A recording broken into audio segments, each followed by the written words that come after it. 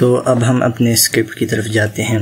तो मैं अपना स्क्रिप्ट जो है वो माई प्लेयर वो ओपन कर लेता हूँ और यहाँ पे अब हमने अपना जो एनिमेटर है उसको एक्सेस करना है। तो उसको एक्सेस करने के लिए हम यहाँ पे एक पब्लिक वेरिएबल जो है वो डिक्लेयर करते हैं एनिमेटर के नाम से और इसका नाम हम दे देते हैं एनिम स्टार्ट के अंदर हम इसको इनिशलाइज कर देते हैं एनिम इक्वल गेट कंपोनेंट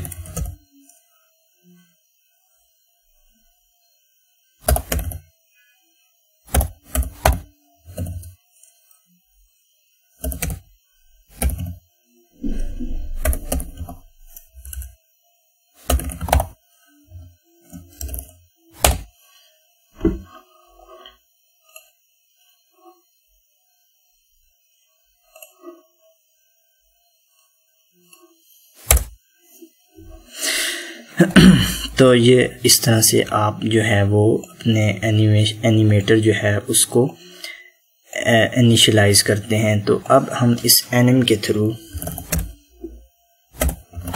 अपना जो ट्रिगर है सेट ट्रिगर सेट ट्रिगर में हमने जो ट्रिगर बनाया था, अब चूँकि स्पेस है तो जंप तो जंप के ट्रिगर को जो है वो अब हम यहाँ से अनेबल कर रहे हैं।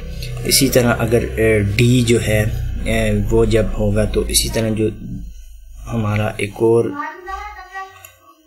जो डैमेज का ट्रिगर है, उसको हम यहाँ पे अनेबल कर देते हैं। तो इसी को हम कॉपी करते हैं। यहाँ पे डैमेज तो ये जो स्पेलिंग और कैपिटलाइजेशन जो है, ये आपने बिल्कुल सेम रखनी है जो कि यहाँ पे आपने डिफाइन की है। तो अब इसको कंट्रोल सेव से आप सेव करें और अब दोबारा अगर हम इसको प्ले करें।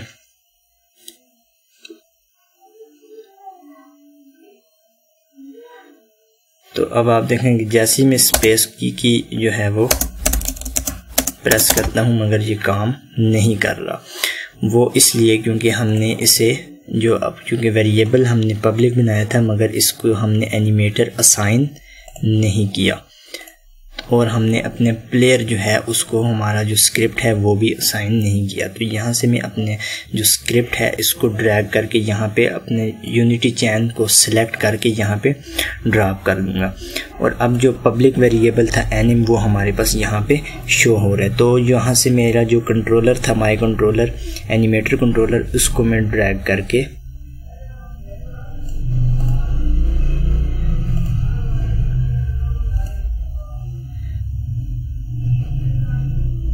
बल्कि ये जो जो यूनिटी चैन है, क्योंकि इसके ऊपर हमने अपना एनिमेटर कंट्रोलर लगाया तो इसमें से यहाँ से इसका रेफरेंस जो है, मैं इसको दे दूँगा।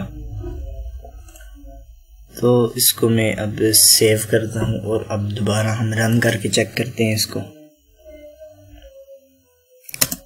तो ये अब आप देखते हैं कि जैसे ही मैं स्पेस का की प्रेस करता हूँ तो ये दोबारा से जंप करता है। मगर जंप करने के बाद ये जो है बिल्कुल स्टैटिक कंडीशन में दोबारा से वेट के उसमें नहीं गया।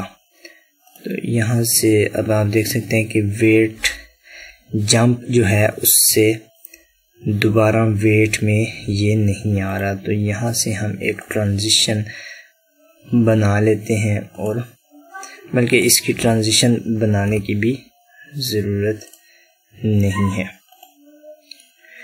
तो इसको हम बाद में देख लेंगे कि दोबारा से हम इसको कैसे वेट की कंडीशन में ला सकते हैं। तो इसी तरह डी के लिए भी हमने यही काम किया था। तो अगर हम डी प्रेस करूँ तो ये आप देखेंगे कि ड्रॉप हो जाएगी।